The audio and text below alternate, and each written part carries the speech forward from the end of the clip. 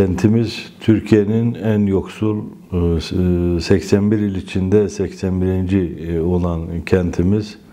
Maalesef e, açlık ve yoksullukla e, boğuşan bir e, genç kuşakla e, e, Van dışındaki illere özellikle Akdeniz ve Ege sahillerindeki yapılaşmalarda çalışan çocuklarımız maalesef her gün e, Van'a e, bir çocuğumuzun cenazesi e, gelmektedir.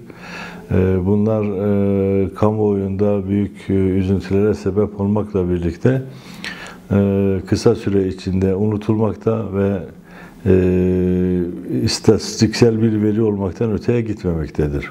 İnşaatlarda e, maalesef e, eğitim almadan çalışmaktadır bu gençler. Yapacakları işlerle ilgili e, oryantasyon eğitimlerini alamamakta, mesleki eğitim almamakta, hepsini e, zam- zaman içinde kağıt üzerinde varmış gibi göstererek e, dosyalarına koymaktadırlar.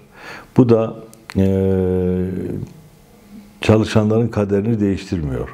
Çalışanlar e, yüksekte çalışırken emniyet kemeri takmadıkları için düşüp ölmektedirler. Şimdi ben burada e, bir şeyin altını çizmek istiyorum. 7. kattan, 9. kattan, 10. kattan aşağı düşen insanlar elbette ölürler. Düşmemek için tedbir alınması gerekir. Bu nedir? Yaşam halatına bağlanmış emniyet kemeri. Emniyet kemerinin takılmadan oraya çıkan işçi ölüme davetiye çıkarmaktadır. İşverenler iş yerlerinde her türlü tedbiri almak zorundalar. Bir, çalışanlarının yaşamlarını tehlikeye atacak riskleri ortadan kaldırmalılar. Çalışanların güvenliklerini sağlamak için onlara gerekli kişisel koruyucu donanım malzemesini vermek zorundalar. Kanundur bunlar. Bu söylediğim şeyler kanunun emirleridir. Ortamı iyileştirmek zorundalar. Sürekli eğitmek zorundalar çalışanlarını ve bu ölümleri önlemek zorundalar. Ben emniyet kemeri takmak istemiyorum. Ben baret takmak istemiyorum diyen işçiyi anında işten çıkarmak zorundalar. Aksi takdirde o işçinin düşüp ölmesi an meselesidir. Dolayısıyla hep birlikte bu işin günahkarıyız biz.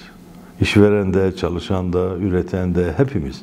Herkes daha fazla kazanmak için kuralları berhava ediyor. Dikkate almıyor. Bir an önce işi bitireyim. Bir an önce onu bitirip bir başka yerdeki işe başlayayım. Buna benzer e, kaygılarla maalesef bizde iş kazalarının ardı arkası kesilmiyor. Her yıl 3000 evladımız toprağa gidiyor. 3000 kişi. Düşünebiliyor musunuz? Bir savaşta bu kadar insan ölmüyor. 3000 kişi her yıl Türkiye'de iş kazalarından ve meslek hastalıklarından do- dolayı hayatını kaybediyor. Ve bunların büyük çoğunluğu genç. Genç işçiler. Van da bunlardan biridir.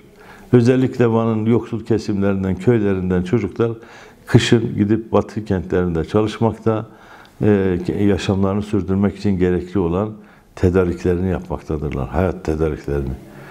Bunun içinde gidip orada en ucuz iş e, yevmiyelerle en kötü koşullarda çalışan e, bizim çocuklarımızdır. Bölgemizin çocuklarıdır. Beni dinleyen çocuklarımıza sesleniyorum. Lütfen iş güvenliği kurallarına uyun. Mutlaka emniyet kemeri takın. İşveren size emniyet kemeri vermiyorsa çıkmayın. Çıkmak zorunda değilsiniz. Hayatınızı bir yövmiye için e, feda etmeye değmez. Buna mecbur değilsiniz.